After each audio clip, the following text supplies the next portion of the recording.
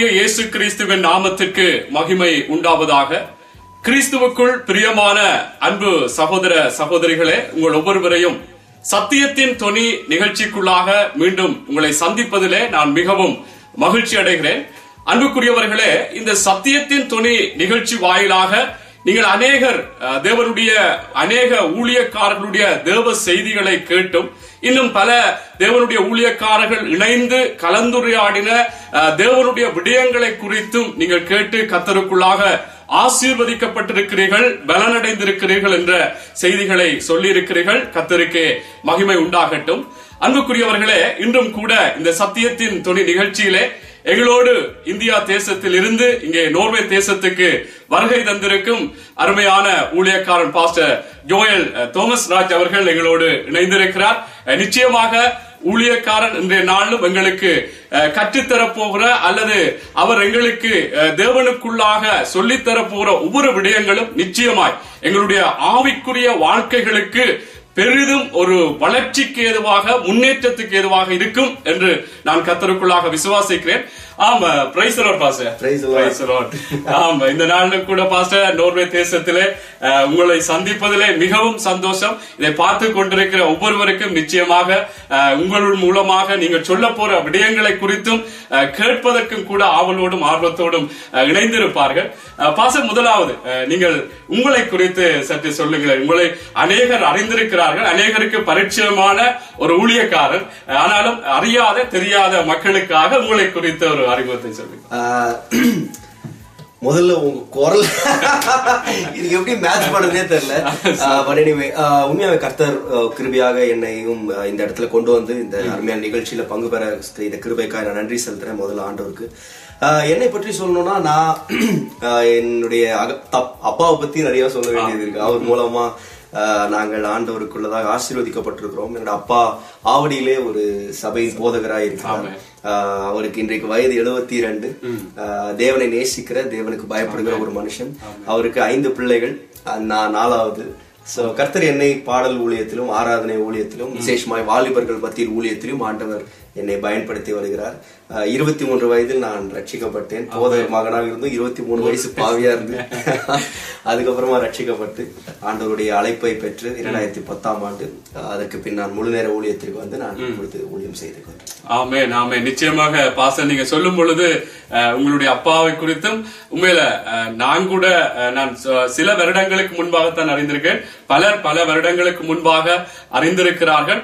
அப்பாவுடைய வயசை தாண்டிய தான் அவருடைய அனு எங்களுடைய வயசை தாண்டிய நாற்பது ஐம்பது வருடங்கள் ஆவிக்குரிய வாழ்க்கையிலே ஆவிக்குரிய காரியங்களை அஹ், உங்களுடைய அப்பா அஹ், பிரசங்கித்துக் கொண்டிருக்கிறார். அதற்கு சாட்சியாக இருக்கிறார். உண்மையில அநேகருக்கு கத்தருக்குள்ளாக வழிநடத்துகிற நல்ல ஒரு போதகராக நல்ல ஒரு தகப்பனாக இருக்கிறார். உண்மையில எங்களுக்கும் தகப்பனா இருக்கிறார் ஆவிக்குரிய தகப்பனா இருக்கிறார் என்றால் நான் சொல்லுகிறேன். நிச்சயமா அநேகர் அப்படியா சொல்லுவார்கள். கத்தருக்கு மகிமை உண்டாகட்டும் பாஸ்டர்.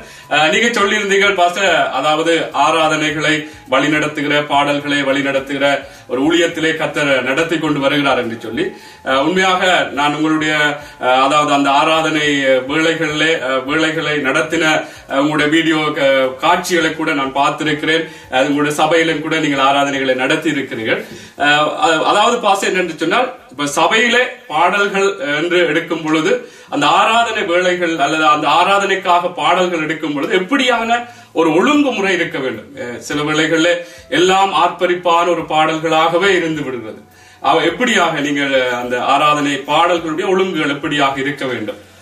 நான் நினைக்கிறேன் முதலாவது நம்ம அஹ், ஆராதனை அப்படின்னு சொல்றதே வந்து நம்ம நிறைய பேர் சீரியஸாவே எடுத்துக்கிறது இல்ல நீங்க நிறைய சபைகள்ல நீங்க பார்க்கலாம். விசேஷமா ஆசிய கலாச்சார சபைகள்ல நீங்க பார்க்கும்பொழுது பாத்தீங்கன்னா சர்ச்சு எட்டு மணிக்கு ஆரம்பிக்கும். நம்ம எப்பவுமே யூஸ்வலா ஆராதனையோட ஆரம்பிக்கிறது வர்ஷிப் டைம் இருக்கும். நீங்க பாருங்க எல்லா சர்ச்சுமே எப்போ ஃபுல் ஆகும் பார்த்தா கரெக்டா மெசேஜ் டைமுக்கு தான் ஃபுல் ஆகும். நீங்க பாத்தீங்கன்னா அந்த ஆராதனைக்கான முக்கியத்துவத்தை அநேகர் கொடுப்பதில்லை. அதுல நிறைய தவறு அதாவது நிறைய பிழை எங்க இருக்கு அப்படின்னு பார்த்தா ஆராதனை நடத்துறவர்கள்ட்ட அந்த பிழை இருக்கு. ஏன்னு சொன்னா அந்த ஆராதனைக்கான முக்கியத்துவத்தை நாம் கொடுக்காத பொழுது ஜனங்களும் அந்த முக்கியத்துவத்தை அறியாமல் இருக்கிறதை நாம். நிறைய வாட்டி நான் பார்த்திருக்கிறது என்னன்னு சொன்னா நான் எங்க சபையிலுமே நான் சேர்த்து தான் சொல்றேன். அஹ், எப்படி நடக்கும்னு சொன்னா வர்ஷிப் லீடர் காலில் வந்துட்டு ஒரு நாலு ஃபாஸ்ட் பாட்டு சொல்லுங்க ஒரு நாலு ஸ்லோ பாட்டு சொல்லுங்க அப்படின்னு சொல்லிட்டு ஆராதனைக்கு ஒரு எட்டு பாட்டு ரெடி ஆயிடுச்சு.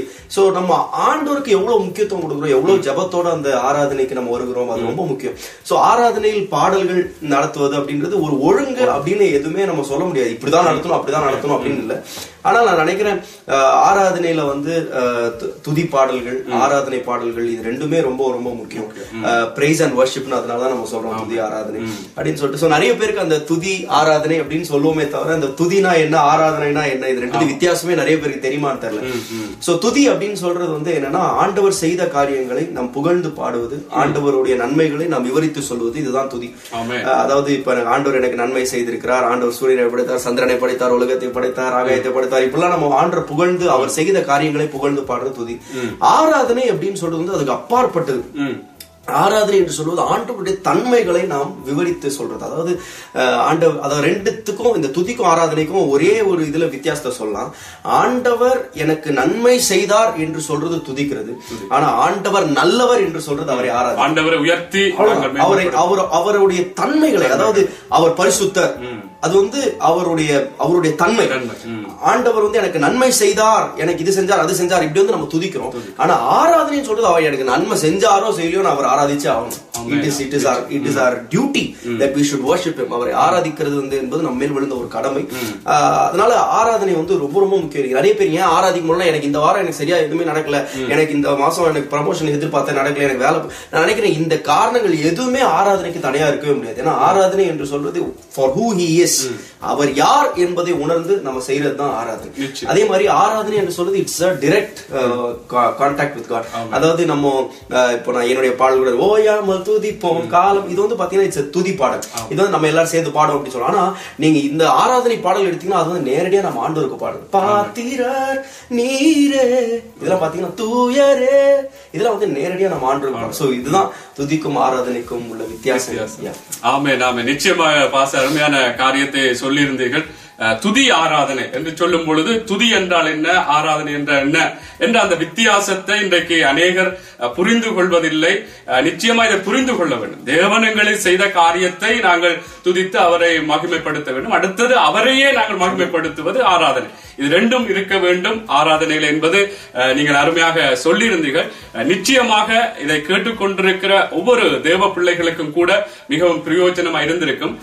உண்மையாக இன்னும் ஒரு காரிய பாச நீங்க சொன்னீங்க நிச்சயமாய் எல்லா பாடல்களும் அஹ், உண்மையாக அருமையான தேவனுடைய மனுஷர்கள் எழுதி கத்தரை ஆராதிக்கும்படியாக அஹ், வைத்திருக்கிறார்கள். அதாவது அஹ், முதல் அஹ், உதாரணமாக நல்ல ஒரு ஆர்ப்பரிப்பான ஒரு உற்சாகத்தை கொடுக்கத்தக்கதான பாடல்கள் வரும். ஆனால் இறுதியாகவும் அப்படியான ஒரு பாடல்களையே படித்து ஒரு ஒப்பு கொடுத்தலுக்குள்ள சில ஆராதனைகள்ல இருக்கிறது இல்லை அதை- அதைத்தான் நான் கேட்டிருந்தேன். நிச்சயமாக அது அப்படி என்ற உங்களுடைய சபையில நான் பார்த்திருக்கிறேன். அருமையான நல்ல ஆராதனைகளை அதிலே தேவனுடைய அந்த பிரசன்னத்தை கூட அங்கே தூர தேசத்திலே நீங்கள் ஆராதித்தாலும் அதை வழிநடத்தினாலும் கூட நாங்கள் கூட உணர்ந்திருக்கிறோம். இது மிகவும் முக்கியம் இல்லையா பாஸ்டர்? அந்த ஒரு ஒப்பு கொடுத்தலுக்குள்ளே வர சரீரங்களை ஜீவ பலியாக ஒப்பு கொடுப்பதே நாம் செய்யும் புத்தி உள்ள ஆராதனை. அப்போ புத்தி உள்ள ஆராதனை அப்படின்னு சொல்றது நம்மை நாம் அர்ப்பணிக்கிறது புத்தி உள்ள ஆராதனை அப்போனா புத்தி இல்லாத ஆராதனை ஒண்ணு இருக்கு. அது என்னன்னு சொன்னா நம்ம அர்ப்பணிக்காம ஆண்டவர் நான் வந்து ஒரு ஒரு முறை இந்த ஒரு வர்ஷிப் செமினாருக்காக நான் ப்ரிப்பேர் பண்ணி கொண்டிருந்த பொழுது நான் ஆண்டவரிடத்தில் நான் கேட்ட ஒரு கேள்வி ஆண்டவரே ஆராதனை அப்படின்னா உண்மையான அர்த்தம் என்ன? நம்ம பல இடங்கள்ல படிச்சிருக்கலாம் இதுதான் ஆராதனை டெஃபினேஷன் ஆனா எனக்கு நீங்க தனியா கற்றுத்தாங்க ஆண்டவரே அப்படின்னு சொல்லும்போது எனக்கு ஆண்டவர் கற்றுக் கொடுத்த ஒரே ஒரு பாடம் ஆராதனை அப்படின்றது இது என்னுடைய டெஃபினேஷன் இது என்னன்னு சொன்னா ஆராதனை என்று சொல்வது எனக்கும் ஆண்டவருக்கும் உள்ள தனிப்பட்ட உறவின் நிறைவு. இன்றைக்கு நமக்கும் ஆண்டவருக்கும் ஒரு தனிப்பட்ட உறவு என்றைக்கு நிறைவாகுதோ அது ஆட்டோமேட்டிக் ஆராதனையாக மாறும். ஆனா அதே இது எனக்கும் ஆண்டவருக்கும் எந்த விதமான தனிப்பட்ட உறவு இல்லாம நான் என்னதான் ஆராதிச்சாலும் நம்ம ஆராதி நினைக்கிறோம். என்னதான் சொன்னாலும் என்னதான் கை உயர்த்தி பாடினாலும் என்னதான் நம்ம கரங்களை அசைச்சு பாடினாலும் அது வெறும் பாடல் தானே தவிர ஆராதனையாக முடியாது. ஆராதனை என்கின்ற சொல்றது வந்து என்னுடைய தனிப்பட்ட உறவிலே ஆண்டவர் கூட இருக்கிற ஐக்கியம் இல்லாமல் நான் செய்கிறது ஆராதனையாகவே முடியாது. ஆமென் ஆமென். நிச்சயமாக அருமையான காரியம் பாஸ்டர். அதனால தான் ஏசாயில கூட ஒரு வசனம் இருக்கிறது. என் ஜனங்கள் வாயினால் என்னை தேடுகிறார் முதல் நாள் காணப்படுது ஆனா இருதயமோ தூரமா. நீங்க சொன்னது போல எல்லாம் முழுமையாக ஒப்பு கொடுக்க வெரி ட்ரூ நிறைய வாட்டி நம்ம அப்படிதான் நம்முடைய ஆராதனை வந்து சண்டே மார்னிங் வந்தோடனே ஐயோ நம்ம சில வாலிபர்கள்லாம் நான் அந்த சென்னையில எல்லாம் பார்த்திருக்கேன் சில ஆராதனைகள் சில கான்சர்ட்ஸ் நான் எதற்கும் எதிரான நானே கான்சர்ட் ஆஹ் நான் அதற்கு எதிரி அல்ல. ஆனால் சில இடங்களில் நான் பார்த்திருக்கிறேன் அத மாதிரி லைட் போட்டு அத மாதிரி மியூசிக்லாம் இருக்கும் பொழுது பயங்கரமா குதிச்சு ஆராதிக்கிற அநேக வாலிபர்கள். ஆனால் என்னுடைய ஆசை நல்லதுதான். ஆண்டவர் அது மாதிரி கான்சர்ட்ஸ்ல நம்ம உண்மையா நல்லா நிறைய செலவு செஞ்சு அநேக அர்ப்பணிப்போட அநேக தியாகத்தோட எல்லாருமே பண்றோம். ஆனா அந்த இடத்துல குதிக்கிறது மாத்திரம் இல்ல. அவர்கள் வீடுகளிலும் தங்களோடு ஆண்டவர் என்ன நிலைமையில அந்த லைட்டுக்காக இல்ல மியூசிக்காக இல்ல அநேக வேளையில் நான் சொல்லுவேன் ஆராதனை நடத்துகிற நபர் முக்கியம் அல்ல யாரை ஆராதிக்கிறோம் என்பதுதான். நாம் பாடுகிற பாடல்கள் முக்கியம் அல்ல ஆனால் யாரை பாடுகிறோம் என்பது முக்கியம். சும்மா இன்னைக்கு நல்ல நல்ல நல்ல ஜோக்கா இருக்கு இந்த பாட்டு நல்ல அப்பீட்டா இருக்கு இந்த பாட்டு உற்சாகமா இருக்கு. அதுக்காக நான் பாடுறேன்னா அல்லாட்ட ஆண்டவரை ஆராதிக்கிறதுக்காக நான் அதை பாடுறேன்னா என்கின்ற இது ரொம்ப முக்கியம். சோ அது நம்முடைய வாழ்க்கையின் தனிப்பட்ட வாழ்க்கையாகவே மாறணும் ஆராதனை ஆமா நிச்சயமாக பாசர் மேல இதை குறித்து பேசினார். நீங்கள் அதிகமாக எங்களுக்கு விளக்கம் சொல்லுவீர்கள் என்றால் அப்படியாக உங்களுடைய அனுபவங்கள் இருக்கிறது. நீங்க சொன்னது போல எப்பொழுதுமே தேவனை அவங்கள் ஆராதித்துக் கொண்டு இருக்க வேண்டும். அதுதான் தாவீது கூட சொல்லுகிறார் கத்தரை நான் எக்காலத்திலும் சோத்தரிப்பேன் இன்பமானாலும் துன்பமானாலும் என்ன சூழ்நிலைகள் எதிரா வந்தாலும் கத்தரை நான் சோத்தரிப்பேன் என்று சொல்லுகிற அந்த தாவிதை போல உண்மையாக நீங்க சொன்னது போல ஒரு ஆராதனை பெரு விழாக்கள் நடக்கிற நேரங்கள் தான் அந்த நேரத்தில் தான் நாங்கள் குதித்து அல்லது கத்தருக்குள்ளாக ஒரு சந்தோஷிப்பிக்கிற ஒரு விடயம் தான். ஆனா அந்த நேரத்தோட முடிவடைந்து விடக்கூடாது என்பது அஹ், உண்மையில நீங்கள் ஒரு அனுபவ ரீதியாக சொல்லியிருக்கிறீங்க பாசர். அடுத்ததாக ஒரு கேள்வி பாசர். இந்த ஆராதனை அதாவது ஆராதனை நடத்துகிறோம். அஹ், இந்த ஆராதனை நடத்தும் பொழுது பாடல் குழுவிலோ அல்லது இசை கருவிகளை வாசிக்கிற அஹ், அதுல இருக்கிறவர்கள் எப்படியாக இருக்க வேண்டும்? உதாரணமாக தேவனுக்குள்ளாக ரட்சிக்கப்பட்டவர்களாக அல்லது ஞானஸ்நானத்தை எடுத்தவர்கள் தேவ நீதியை நிறைவேற்றினவர்களாக இருக்க வேண்டும் அல்லது தேவையில்லையா? வேறு தேவனை அறிந்தாலும் அவர்கள் தேவனுக்குள்ளாக வராமல் இருந்தாலும் அவர்கள் அதற்குள்ளே இருக்கலாமா? பாடல் குழுவிலே அல்லது இந்த இசைக்கருவிகளை வாசிக்கிறவர்கள். இது வந்து ரொம்ப ஒரு பர்சனல் கொஸ்டின் ஆண்டவரை ஆராதிப்பது நான் சொன்னது அதான். நான் சொன்ன அந்த இதுல எல்லாமே இருக்கு. நான் வந்து பாடுறவர்களா இருக்கலாம் நான் வந்து மியூசிக் வாசிக்கிறவனா இருக்கலாம் நான் வந்து அது எப்பொழுது ஆராதனையாக மாறுகிறது என்றால் எனக்கும் ஆண்டுக்கும் தனிப்பட்ட உறவு இருக்கு. இது ஒரு பக்கம் இருக்க நம்ம இவங்களை பயன்படுத்தலாமா பயன்படுத்த கூடாதா அப்படின்றது வந்து ஒரு ஒரு ஒரு வெரி குரூஷியல் கொஸ்டின் தான். இன்னைக்கு வந்து நம்ம நம்ம யாரையும் நியாயம் தீர்ப்பதற்காக நம்ம இல்ல. ஆனாலும் நம்ம எப்பொழுதுமே ஒரு சபையாக நம்ம எடுத்துக்கொள்வோம் சபையின் ஆராதனை நாம் எடுக்கும் பொழுது ரட்சிக்கப்பட்டவர்கள் கண்டிப்பா ரட்சிக்கப்பட்டவர்கள் நம்ம சர்ச்ல வாசிக்கிறாங்க.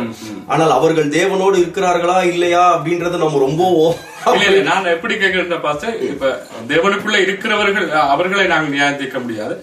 உதாரணமாக புதிதாக வருகிறவர்கள் உதாரணமாக அவர்களை நாங்கள் பயன்படுத்த ஒரு இசைக்கருவியை வாசிக்கக்கூடியவர்கள் பாடலை படிக்கக்கூடிய ஒரு திறமை உள்ளவராக இருக்கும் பொழுது நாங்கள் உடனடியாக அவருக்கு சரியான முறையில சத்தியத்தை போதிக்காமல் சத்தியத்தை வழிநடத்தாமல் அவருக்கு தேவனுடைய அந்த தாற்பயங்களை குறித்து சொல்லாமல் உடனடியாக அந்த பலிபிடங்களிலே எல்லா சபைகளுமே பாத்தீங்கன்னா எனக்கு தெரிஞ்ச வரைக்கும் ஒரு சர்ச்ல கொயரா இருக்கலாம் அது மியூசிஷியனா இருக்கலாம்.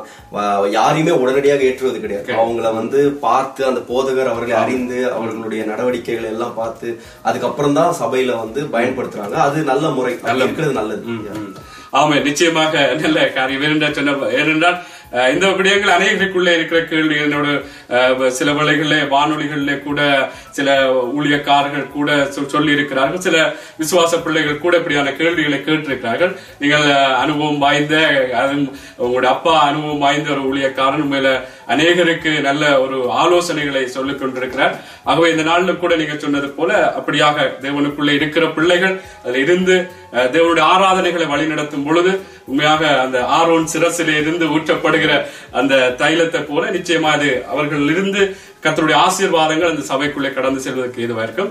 ஆம் பாசர் உண்மையில இதை குறித்து பல அஹ், நிமிடங்கள் கதைத்து விட்டோம். எங்களுக்குரிய நேரம் தான் இருக்கிறது நீங்கள் இசை தொகுப்புகளை வெளியிட்டு இருக்கிறீங்க இல்லையா பாஸ்டர்? எத்தனை இசை தொகுப்பு வெளியிட்டு இருக்கிறீங்க அதை குறித்து சொல்ல முடியுமா? நான் நாலு டிவிடி வெளியிட்டிருக்கிறேன். அஹ், அதெல்லாம் சென்னையில செய்த கான்சர்ட்ஸ் அவைகளை வெளியிட்டிருக்கிறேன்.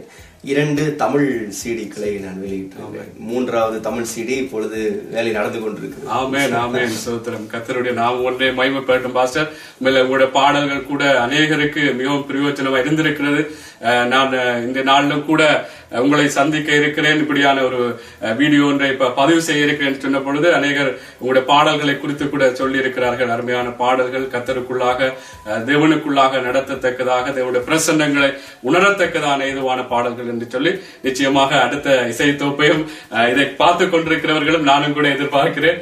கத்தர் எல்லா காரியங்களையும் வாய்க்க பண்ணுவார் பாஸ்டர். ஆமா அடுத்ததாக சீக்கிரமாக கடந்து செல்லாம் பாஸ்டர்.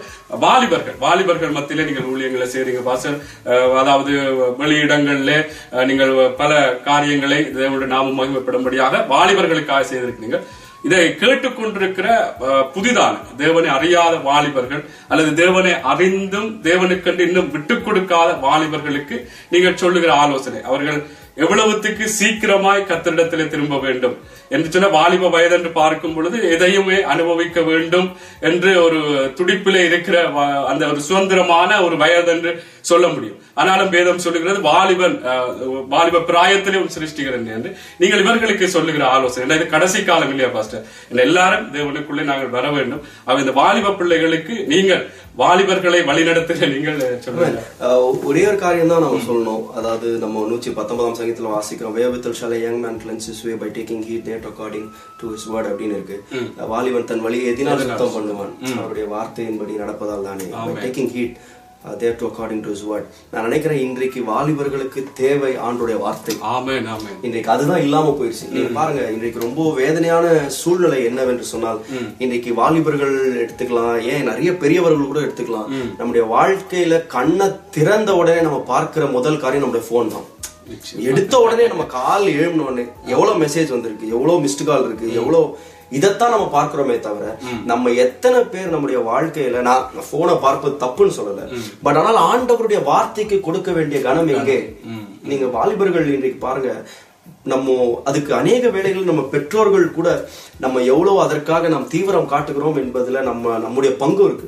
அதாவது நம்ம பையன் வந்து ஸ்கூல்ல ஃபர்ஸ்ட் ரேங்க் வந்தானா நம்முடைய பையன் வந்து அசைன்மெண்ட் செஞ்சானா நம்ம ஹோம்ஒர்க் செஞ்சானா இது பண்ணானா அது செஞ்சானா ஸ்கூல்ல இப்படி இருக்கானா அப்படி இருக்கானா இது எல்லாத்துக்கும் நாம் கேட்கிறோம். ஆனா நான் இங்க பாட்டு பார்த்து கொண்டிருக்கிற நீங்க பெரியவர்கள்ட்டையும் நான் கேட்கிற ஒரே கேள்வி கடைசியா நம்ம பையன் கிட்ட எப்படா பைபிள் வாசன் கேட்டு எவ்வளவு நாள் ஆச்சு? ம் ம். You know like we give that the last priority in our homes. நான் நினைக்கிறேன் எங்க தேவனுடைய வார்த்தை அவமதிக்கப்படுகிறதோ எங்கே தேவனுடைய வார்த்தை கனவீனப்படுத்தப்படுகிறதோ அன்றைக்கு ஆசீர்வாதங்கள் கடந்து சென்று விடும் நம்ம என்றைக்கு தேவனுடைய வார்த்தைக்கு நாம் மரியாதை கொடுக்கிறோமோ என்றைக்கு நாம் தேவனுடைய வார்த்தையை நம்ம கரங்களில் எடுக்கிறோமோ அன்றைக்கு தான் நம்முடைய வாழ்க்கையில ஜீவன் இருக்கும். நான் சொல்றேன் வார்த்தை தான் ஜீவன். தேவனுடைய வார்த்தையில தான் ஜீவன் இருக்கு. சோ அந்த ஜீவன் இல்லாட்டி நம்ம அநேக வேளையில செத்தவ பிணங்கள் போல ஆனா உயிரோட நடந்துகிட்டோம் அவ்வளவுதான். பட் ஆவிக்குரிய வாழ்க்கை மரித்து போன நிலைமையில தான் இன்றைக்கு அநேக வாலிபர்கள் போயிட்டாங்க. ஆனா அவர்கள் மாத்திரம் தேவனுடைய வார்த்தை தங்கள் கரங்களில் எடுத்து அதை தினமும் வாசிக்க ஆரம்பிப்பார்கள் என்று சொன்னால் உண்மையாகவே அடுத்த சந்ததி ஒரு ஆசீர்வதிக்கப்பட்ட சந்ததியாயிரும். வாலிபர்கள் நான் சொல்ல வேண்டிய ஒரே ஒரு பெருசா நான் ஒண்ணும் சொல்றதுக்கு இல்ல. ஆண்டுடைய வார்த்தையை வாசியுங்கள் அவருடைய பாதத்திலே அமர்ந்து அவருடைய பாதத்திலே அமர்ந்து ஜெபிக்கிறதை போல நான் நினைக்கிறேன். அதை விட ஒரு பெரிய ஒரு பாக்கியமும் பெரிய ஸ்லாக்கியமும் எதுவுமே இல்லை. என்னுடைய அப்பா அடிக்கடி சொல்லுகிற ஒரு வரியை நான் இந்த இடத்துல ஞாபகப்படுத்த விரும்புகிறேன். என்னுடைய அப்பா வந்து வெறும் எட்டாவது படித்த ஒரு மனுஷன். தமிழ் மாத்திரம் தான் அவருக்கு பேச தெரியும். இங்கிலீஷ்லாம் பேச தெரியாது. அவருக்குன்னு இமெயில் அட்ரஸ் கிடையாது. அவருக்குன்னு ஃபேஸ்புக் அக்கவுண்ட் கிடையாது. கம்ப்யூட்டர் கிடையாது. ஒன்றுமே தெரியாத ஒரு மனுஷன். ஆனால் இன்றைக்கு பனிரெண்டாயிரம் பேர் உட்காரக்கூடிய ஒரு மிகப்பெரிய சபையை கட்டி கொண்டிருக்கிறார் ஒன்றும் தெரியாத ஒரு மனுஷன். நான் அவரை பார்த்து யோசிச்சேன்னா அவர் கற்கால மனுஷன். அந்த காலத்து மனுஷன் அப்படிதான் சொல்லுவேன். ஆனா இன்றைக்கு அந்த மனிதனை கொண்டு ஆண்டு ஆவடியில வந்து இவ்வளவு பெரிய ஊழியத்தை கட்டி எழுப்பி கொண்டிருக்கிறார். அஹ் இன்றைக்கு அத்தனை ஆயிரம் பேருக்கு உலகம் முழுவதும் ஆசீர்வாதம் வைத்திருக்கிறார் என்றால் அவர் சொல்லுகிற ஒரே ஒரு காரியம் சொல்லுவார். தேவனுடைய வேதத்தையும் தேவனுடைய பாதத்தையும் பிடித்தவர்கள் தோற்றதே இல்லை என்று சொல்லுவார். எனக்கு அதே தான் வாலிபர்கள்ட்ட சொல்ல விரும்புறேன். தேவனுடைய வேதத்தை பிடிங்க தேவனுடைய பாதத்தை பிடிங்க.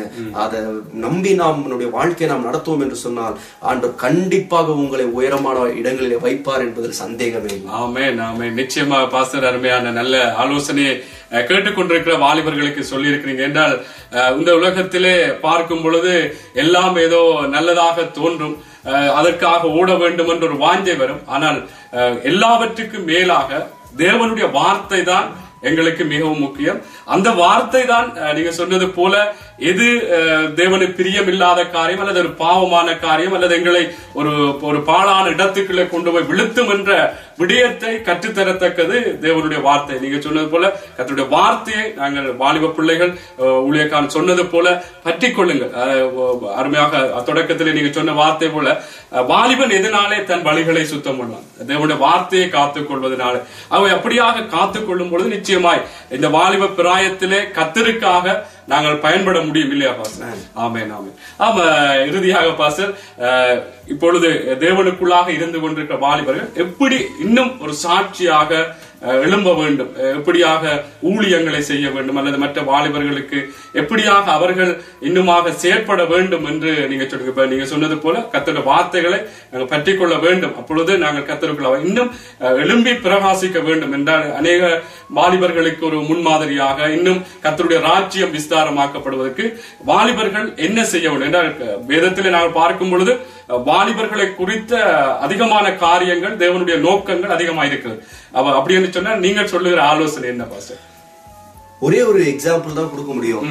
வாலிபர்களுக்காக நம்ம வேதத்துல வாசிக்கும் பொழுது ஒரு இள வாலிபன் ஒருவன் தேவனால் ஆசீர்வதிக்கப்பட்ட ஒரு வாலிபன் தன்னுடைய வாழ்க்கை இழந்து போன ஒரு சம்பவம் அப்படின்னு பார்த்தா சிம்சோனுடைய சம்பவம். அவனுடைய வாழ்க்கையில பாருங்க அவனை குறித்து எழுதப்பட்டிருக்கிற இருபது வருஷம் அவன் இஸ்ரவேலை நியாயம் விசாரித்தான் ஆனா ரொம்ப துக்கமான விஷயம் என்னன்னா இருபது வருஷம் இஸ்ரவேலை நியாயம் விசாரிச்சு அவன் சாகும் பொழுது கூட இஸ்ரவேலர்கள் அடிமைகளா இருந்தார்கள்.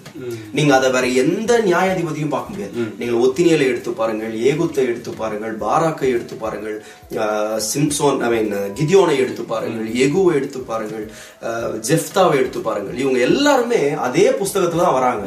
ஆனா அவர்கள் எல்லாரும் அவங்க ஆண்டவர் அவர்களை ஏற்படுத்தின உடனே ஃபர்ஸ்ட் இயர்லயே முதலாம் வருஷத்திலேயே அவங்க பாத்தீங்கன்னா அவங்க யா- எந்த எதிரிகள்கிட்ட இஸ்ரேல் இருந்தாங்களோ அவங்கள விடுவிச்சாங்க.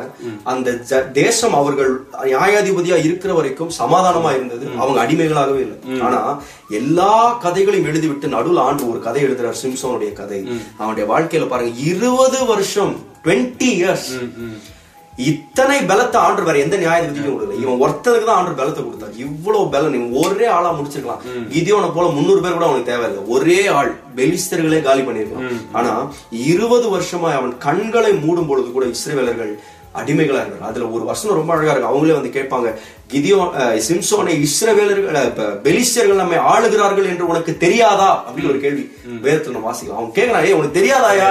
பாருங்க அவ்வளவு தூரத்துக்கு அவன் நம்ம மேல ஒருத்தன் அட்- நம்மள நம்ம அடிமையா இருக்கோன்றது கூட தெரியாத அளவுக்கு ஆண்டோட சித்தத்தை விட்டு வெளியே போனதப்பா இதுல இருந்து ஒரே ஒரு காரியம் என்னன்னு சொன்னா இவ்வளவு பலனை பெற்ற அந்த வாலிபன் இவ்வளவு அதிகாரத்தை பெற்ற அந்த வாலிபன் இவ்வளவு பெரிய பராக்கிரம சாலமா பராக்கிரமமான காரியங்களை செய்ய வல்லமை உள்ள அந்த வாலிபன் ஏன் செய்யவில்லை? எனக்கு அந்த கேள்விக்கு பதிலே கிடைக்கும் ஏன் அவனால் செய்ய முடியல? இருபது வருஷம் இருந்து அவன் இன்னும் அடிமைகளாய் தன் மக்களை பெலிஸ்தர்கள் வச்சாங்கன்னு சொல்ல மாட்டேன் நான். இ- இஸ்ரவேல் அடிமையா இருந்த காரணம் யார் தெரியுமா? இவன் தான் இவன் ஒரு வாலிபனால் எல்லாருமே அடிமைகளா இன்னைக்கு நான் நினைக்கிறேன் நம்முடைய சபையிலே நம்முடைய வாலிபர்களுக்கு நான் சொல்ல வேண்டிய ஒரு காரியம் உன்னை சுற்றி இருக்கிற அநேக வாலிபர்கள் இன்றைக்கு பிசாசின் அடிமை கட்டில் இருப்பதின் காரணம் சாத்தான் அல்ல நீதான். நீ தேவனுடைய வார்த்தையை நீ அன்றைக்கு சொல்லி இருப்பாய் என்றால் நாம் சாட்சியா இருந்திருப்போம் என்றால் நம்முடைய வாலிபர்கள் வெளியில எத்தனையோ வாலிபர்களை மீட் பண்றாங்க. நம்ம சபைக்குள்ள வந்து எல்லாம் ரட்சிக்கப்பட்டவர்கள் இருக்காங்க. ஆனா நம் ரட்சிக்கப்பட்டவர்கள் வெளியே செல்லும் பொழுது எத்தனையோ சபைகள் வெளியே இருக்கு. அவங்க யாருமே ரட்சிக்கப்படாதவங்க. அவங்க வேலை செய்கிற இடங்கள்ல அவங்க படிக்கிற இடங்கள்ல எத்தனையோ பேரை நம்ம மீட் பண்றோம். எத்தனையோ பேரை நம்ம சந்திக்கிறோம். எத்தனையோ பேர்கிட்ட வாய்ப்பு இருக்கு நம்ம பேசுறதுக்கு. ஆனா இன்றைக்கு அவர்கள் இன்னும் அந்த குருட்டாட்டத்தில் இருப்பதின் காரணம் என்னவென்று சொன்னால் நம்ம வாலிபர்கள் தான். நம்ம மாத்திரம் ஒரு ஸ்டெப் எடுத்திருந்தோம்னு சொன்னா இன்னைக்கு நான் சொல்றேன் இந்த சிம்சோனை போல இருபது வருஷமா நம்ம வாலிபர்கள் நம்ம ஃப்ரெண்ட்ஸா இருக்கோம். இருபது வருஷமா அந்த பையனை நம்மளுக்கு தெரியும். ஆனா இன்றைக்கு வரைக்கும் அவன் அடிமைத்தனத்தில் இருப்பதன் காரணம் நாம ஒரு சிம்சோன் நம்ம வாலிபர்கள் தான். சோ ஆகவே இன்றைக்கு வெளியே போங்க. போயிட்டு நான் சொல்றேன் நம்முடைய வாழ்க்கையின் அடிப்படை நோக்கம் என்ன என்பதை நீங்கள் உணர்ந்து கொள்ள வேண்டும். வாலிபர்கள்ட்ட நான் சொல்றதா what is your foundational purpose உன்னுடைய வாழ்க்கையின் அடிப்படை நோக்கம் பணம் அல்ல. உன்னுடைய வாழ்க்கையின் அடிப்படை நோக்கம் எவ்வளவு பெரிய வேலையில இருக்கிறோன்றல உன்னுடைய வாழ்க்கையின் அடிப்படை நோக்கம் எவ்வளவு சம்பாதித்தேன் என்றல்ல. எவ்வளவு பேரை சம்பாதித்தேன் புகழை சம்பாதித்தேன் வீடு வாங்கினேன். நான். இதெல்லாம் நல்லதுதான். நாம் சம்பாதிப்பது நல்லதுதான். எல்லாமே நல்லது ஆசீர்வாதங்கள் நல்லதுதான். ஆனால் அவைகள் நம்முடைய வாழ்க்கையின் அடிப்படை நோக்கங்களாகி விடக்கூடாது. நம்முடைய வாழ்க்கையின் அடிப்படை நோக்கம் என்னன்னா என்னுடைய வாழ்க்கையின் மூலமா ஆண்டு மகிமை மகிமைப்படும். ஆமென் ஆமென். நிச்சயமா பாசர் அருமையான ஒரு வைராக்கியமாக வாலிபர்கள் எழும்ப வேண்டும். நாங்கள் தூங்கிக் கொண்டு நாங்கள் ஒரு நிர்விசாரங்களோடு அசதியாக இருந்து விடக்கூடாது என்பதை அருமையாக சொல்லியிருந்தீர்கள் என்றால் இன்றைக்கு நாங்கள் எழும்பாத நாள் தான் அநேகர் வெளியிலே அநேக வாலிபர்கள் இன்னும் பாவத்திலும் சாபத்திலும் அஹ், பலவிதமான அடிமைத்தனங்களுக்குள்ளும் அஹ், அல்லது அவர்கள் அதுக்குள்ளே கிடக்கிறார்கள் என்பதை நீங்கள் இந்த சிம்சோனுடைய வாழ்க்கையில் இருந்து அஹ், சொல்லியிருந்தீர்கள். நிச்சயமாக ஒவ்வொரு வாலிபர்களும் இதை கேட்டு அஹ், தேவனுக்காக செயற்படுவார்கள் என்றால் அஹ், காலம் சீக்கிரமாயிருக்கிறது. சீ- ஆண்டவருடைய வருகை அது சீக்கிரம் என்று சொல்லிக் கொண்டிருக்கிறபடினாலே அங்கே பேசியல்ல கூட சொல்லப்படுகிறது தூங்குகிற நீ விழித்து மறைத்தோரை விட்டு எழுந்திரு அப்பொழுது கிறிஸ்து உன்னை பிரகாசிப்பார். ஆகவே இந்த நாட்களிலே நீங்க சொன்னது போல ஒவ்வொரு வாலிபர்களும் எழும்புவார்களா இருந்தால் ஒவ்வொரு தேசங்கள் தேவனுடைய ராஜ்யத்துக்கு ஏதுவான காரியங்கள் அங்கே செயற்படத்தக்கதாக கத்தர் கிரியைகளை நடப்பிப்பார். உண்மையாக அருமையான நல்ல ஆலோசனையை சொல்லியிருக்கீங்க பாச நன்றி பாச இறுதியாக நான் இறுதி இறுதி என்று இறுதியாக உங்களுடைய அப்பா உங்களுடைய ஊழியங்களை குறித்து அஹ், உங்களை கனப்படுத்தின ஏதாவது காரியங்கள் இருக்கிறதா? அஹ், உங்களுடைய பாடல்களை கேட்டு பலர் ஆசீர்வதிக்கப்பட்டிருக்கிறார்கள். ஒரு சில ஏதாவது சாட்சிகளை சொல்லியிருப்பார்கள். அதை குறித்து சொல்லுங்க அப்பா. நான் எங்க அப்பா அதிகமா எங்களை புகழ்ந்து பேசியது கிடையாது. ஆஹ் அது நல்லதுக்குன்னு நினைக்கிறேன். நிறைய காரியங்கள் புகழ்ந்து பேசினது கிடையாது. ஆனால் ஒரே ஒரு சம்பவத்தை நான் சொல்ல முடியும். ஆஹ் நான் யூத் ஃபெஸ்ட் என்று எங்க சபையில நடக்கும். வாலிபர் விழா என்று எங்க சபையில இருக்கிற எல்லா வாலிபர்களையும் நாலு அணிகளா பிரிச்சு அந்த நாலு அணிகளுக்குள்ள போட்டிகள்லாம் நடத்துவாங்க. அதுல விசேஷமாய் கடைசியில வந்து நாலு அணிகளும் ஒரு மூவியே ப்ரொடியூஸ் பண்ணும். அதாவது ஒரு குறும்படம் மிஷனரி கதையோ அல்லது ஒரு கிறிஸ்தவ சார்ந்த சார்ந்த ஒரு கதையோ ஏதோ ஒரு கதை அவங்க ஃபிலிம் எடுக்கணும். ஸோ இப்படி நாலு டீமும் ஃபிலிம் எடுப்பாங்க. இது நாலுத்துக்கும் நான் தான் உழைப்பேன். மியூசிக் பேக்ரவுண்ட் மியூசிக் பண்றது டப்பிங் பண்றது அப்புறம் அந்த முழு ஈவெண்ட்டையும் நான் தான் ஆர்கனைஸ் பண்ணி பயங்கர சக்சஸ் ஒரு வாட்டி. சக்சஸ் ஆகி பயங்கர சந்தோஷம் எனக்கு. எல்லாரும் கை கொடுக்குறாங்க பாராட்டுறாங்க. ஆனா எங்க அப்பா என்னை தாண்டி தான் போறாரு. ஒரு வார்த்தை கூட சொல்ல மாட்டாரு என்னடா இது நம்மள ஒரு வார்த்தை மதிக்க மாட்டாரு அப்படின்ட்டு சரின்ட்டு பயங்கர டயர்ட் நான் கிட்டத்தட்ட மூணு மாசமா உழைக்கிறேன். மூன்று நாள் அதுக்கு முன்னாடி தூங்கவே இல்லை. சுத்தமா ஒரு நிமிஷம் கூட தூங்கல. ஸோ இவ்வளோ கஷ்டப்பட்டு மேலே சரி செம்ம தூக்கம் செம்ம டயர்ட் பயங்கர ரொம்ப டயர்டா மேலே வரேன். மேலே வந்தா எங்க அப்பா சாப்பிட்டுட்டு இருக்காரு. என் ரூமுக்கு எங்க அப்பா சாப்பிட்டு டைனிங் டேபிள் தாண்டி தான் நான் போனோம். நான் தாண்டும் போது எங்க அப்பாவை பார்த்தேன். பார்த்த உடனே கொஞ்சம் பொறுமையா நடக்க ஆரம்பிச்சேன். சரி இப்பயாச்சும் ஏதாவது சொல்லுவாரு அப்பயும் எதுவுமே சொல்லல. சரி நான் உள்ள போயிட்டேன். அதுக்கப்புறம் மனசே கேட்கல. நான் ஒண்ணுமே சொல்ல திருப்பி வெளியே வந்தேன். அப்பயும் சொல்லல. அப்புறம் அவர் பக்கத்துலயே போய் உட்காந்துட்டேன் உட்காந்துட்டு சாப்பாடு போட்டு சாப்பிட ஆரம்பிச்சேன். அப்பயும் வாயை திறக்க மாட்டேன். ஒரு வார்த்தை கூட சொல்லல. என்னடா இது அப்படின்ட்டு நினைச்சுக்கிட்டே இருக்கேன். கொண்டார கழிச்சு நானே கேட்க ஆரம்பிச்சு அப்பா என்ன சொல்லுங்க? எப்படி இருந்துச்சு யூத் ஃபெஸ்ட்? ஏதாவது ஒண்ணு சொல்லுங்க. ஒரு அஞ்சு செகண்ட் எதுவுமே பேசல. பேசாம அப்புறம் கேட்டாரு ஒரு கேள்வி கேட்டாரு. கேட்டாரு ஜோயல் நீ இவ்ளோ செஞ்சியே மூணு மாசம் உழைச்ச மூணு நாள் நீ தூங்கவே இல்லை எல்லாமே எனக்கு தெரியும். ஆனா இவ்வளவும் நீ செஞ்சது ஆண்டவருக்காக செஞ்சியா இல்ல ஆண்டவரோட செஞ்சியான்னு கேட்டார். இந்த கேள்விக்கு என்னால் பதில் சொல்லவே முடியல. நீ ஆண்டவருக்காக செஞ்சன்ற ஆனா ஆண்டவரோட செஞ்சியா? இந்த மூன்று மாசம் நீ எவ்வளவுப்பா ஆண்டவரை தேடின? இந்த கடைசி மூணு நாள் நீ எப்பயாச்சும் ஆண்டரோட வேதத்தை வேதத்தை எடுத்து ஆண்டோட பாத்துல உட்காந்தியா நீ ஜோம் பண்ணியா? நீ மூணு நாள் தூங்காம வேலை செஞ்சப்பா. ஆனா மூணு நாள் ஆண்டரை மறந்துட்ட. நீ ஆண்டவருக்காக செஞ்ச. ஆண்டவரோட செய்யல எனக்கு உண்மையா அந்த கேள்வி பயங்கரமா என்னை பாதித்தது. பயங்கர தூக்கத்துல வந்தேன் நான். அது கூட தூக்கமே வரல. நேராக என் கீபோர்டு எடுத்துட்டு என் ரூம்குள்ளே போனேன். ரூம்குள்ள போயிட்டு அன்றைக்கு தான் இந்த பாடலை எழுதினேன். என் நேசரே உன் பாதத்தில் நான் இன்று அமர்ந்தேன். நீர் மட்டும் போதும் என்று இன்று உணர்ந்தேன். வேறொன்றும் வேண்டாம். உங்களுடைய பாதம் நான் நினைக்கிறேன் என்னுடைய அப்பா என்னுடைய வாழ்க்கையில் அவங்களுடைய இன்புட்ஸ் உண்மையாவே அதாவது நான் எப்படி சொல்றதுனே தெரில எனக்கு தேவன் கொடுத்த ஒரு வரம் என்றுதான் சொல்லணும். எங்க அப்பா வந்து எங்களை அதிகமாக எங்களை புகழ்ந்து பேசியது கிடையாது. எங்களை எங்களை உற்சாகப்படுத்தினது இப்போ நான் வந்து ஊழியத்துலலாம் இருக்கேன். எங்க அப்பா ஒரு வாட்டியும் எந்த பாஸ்டர் கால் பண்ணி என் பையன் கூப்பிட்டு பயன்படுத்துவங்க சர்ச்சில் அப்படிலாம் என்னை உற்சாகப்படுத்தினதே கிடையாது. யார்கிட்டையும் எனக்காக பரிந்து பேசினது கிடையாது. ஆனா எங்க அப்பா எங்களை ஒன்றிலே வளர்த்தார். தேவனுடைய பயத்திலும் விசுவாசத்திலும் எங்களை வளர்த்தார். எங்களுக்கு தெரியும் இன்னைக்கு நான் என் அப்பாவை நம்பி நான் ஊழியம் செய்யல. ஆண்டவரை நம்பி ஊழியம் செய்து எங்க அப்பா எங்களை வழிவகுத்தார். எங்க அப்பா அடிக்கடி சொல்லுகிற காரியங்கள் உங்களுடைய வாழ்க்கையில நீங்கள் தொடக்கூடாத இரண்டு காரியங்கள் என்று சொல்லி சொல்வார் ஒன்று கர்த்தருடைய பணத்திலே கை வைக்காதீர்கள் இன்னொன்று கர்த்தருடைய மகிமையிலே கை வைக்காதீர்கள் என்று சொல்வார். இப்படி அநேக காரியங்கள் என்னுடைய வாழ்க்கையிலே என்னுடைய தகப்பன் கற்றுக் கொடுத்திருக்கிறதை நான் உணர்வேன். நான் ஊழியத்திற்கு நான் ஒப்பு கொடுத்த பொழுது நான் சுவிசேஷ ஊழியமா நான் வெளியெல்லாம் போய் பிரசங்கம் பண்ணணும் அப்படின்னு சொல்லிட்டு எங்க அப்பாட்ட ஜோம் பண்ண சொல்லி நான் சொன்னேன். அப்பா ஜோம் பண்ணுங்க அப்படின்னு சொன்னேன். எங்க அப்பா சொன்னார் நான் ஜோம் பண்றதுக்கு முன்னாடி நீ என்னுடைய உன்னுடைய வாழ்க்கையில நீ கேட்க கூடாத இரண்டு கேள்விகள். இந்த ரெண்டு கேள்வி உன் வாழ்க்கையில கேட்கவே மாட்டேன்னு சொல்லு அப்புறம் நான் ஜோம் பண்றேன்னு சொன்னார். நான் என்னடா கேட்க போறாரு?